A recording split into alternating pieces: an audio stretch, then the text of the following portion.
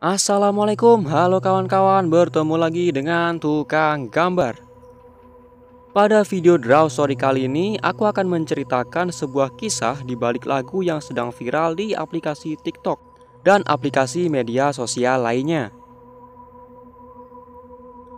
Bagi kalian pengguna aplikasi TikTok, tentunya sudah tidak asing lagi dengan lagu Dominic yang dinyanyikan oleh The Singing Nun. Dominique, nique, nique, s'en allait tout simplement. Routier, pauvre et chantant. En tout chemin, en tout lieu, il ne parle que du bon Dieu. Il ne parle que du bon Dieu. Kurang lebih itulah penggalan lagu Dominic yang akan kita bahas di video kali ini. Beberapa waktu yang lalu ada sebuah video yang mengungkapkan fakta di balik lagu Dominic ini. Di dalam video tersebut dikatakan bahwa lagu Dominic diciptakan oleh seorang biarawati. Dikatakan pula bahwa biarawati tersebut jatuh cinta dengan seorang wanita. Akan tetapi, hubungan kedua pasangan tersebut tidak direstui oleh orang-orang gereja dan akhirnya biarawati tersebut menciptakan lagu berjudul Dominic ini. Disebutkan pula dalam video tersebut bahwa si biarawati dan pasangannya akan dihukum dengan cara dibakar. Tetapi sebelum mereka dibakar, mereka memutuskan untuk bunuh diri bersama. Oleh sebab itu, lagu tersebut juga dijadikan salah satu soundtrack dari serial film horor di Amerika, yaitu American Horror Story. Nah, kira-kira seperti itulah penjelasan yang diberikan oleh salah satu pengguna TikTok yang telah disebarluaskan di beberapa platform media sosial.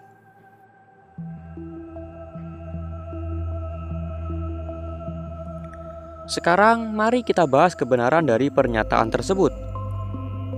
Pertama, memang benar, penulis lagu Dominic adalah seorang biarawati. Pencipta lagu tersebut adalah Janine Deckers, yang juga dikenal dengan Sister Smile. The Singing Nun sendiri merupakan judul dari sebuah film yang diangkat dari kisah nyata Janine Deckers.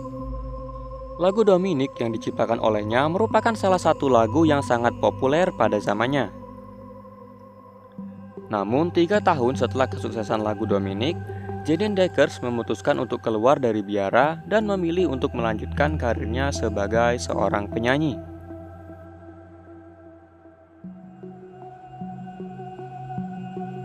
Namun ternyata setelah keluar dari biara, kehidupan Janine Deckers tidak berjalan baik. Pada 1985, ia ditemukan meninggal bersama pasangannya setelah menghabiskan masa hidupnya dengan mengkonsumsi alkohol dan obat penenang akibat tekanan yang selama ini ia terima.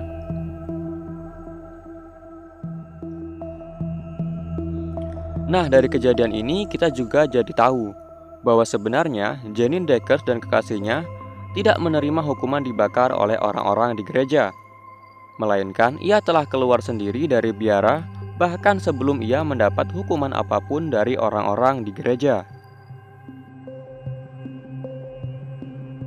Lalu, sebenarnya lagu Dominic ini menceritakan tentang apa sih? Oke, sebenarnya lirik lagu ini terinspirasi dari kisah hidup Saint Dominic atau dalam bahasa Indonesia disebut Santo Dominikus yang merupakan pendiri ordo di mana ia menjadi seorang biarawat. Lagu tersebut menceritakan seorang hamba Tuhan yang suci, yaitu Santo Dominikus.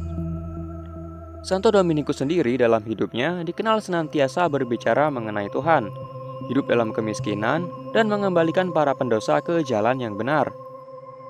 Dan di akhir lagu dituliskan permohonan rahmat untuk dapat menyebarkan kebenaran dan cinta kasih Tuhan di bumi.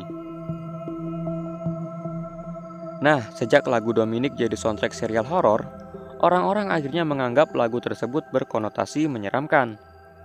Tapi di Indonesia sendiri, lagu ini justru dirubah versinya ke dalam aliran koplo, yang justru membuat kesan seram pada lagu tersebut jadi hilang.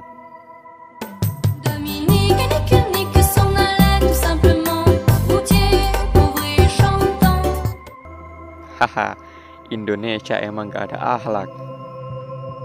Oke, mungkin itulah sedikit yang bisa aku jelaskan tentang lagu Dominic yang sedang viral di media sosial, terutama di aplikasi TikTok. Semoga video ini dapat membantu menjelaskan tentang cerita sebenarnya di balik lagu Dominic ini. Oke, sekian video kali ini. Jangan lupa di like dan share jika kalian suka dengan videonya. Sekian, wassalamualaikum warahmatullahi wabarakatuh.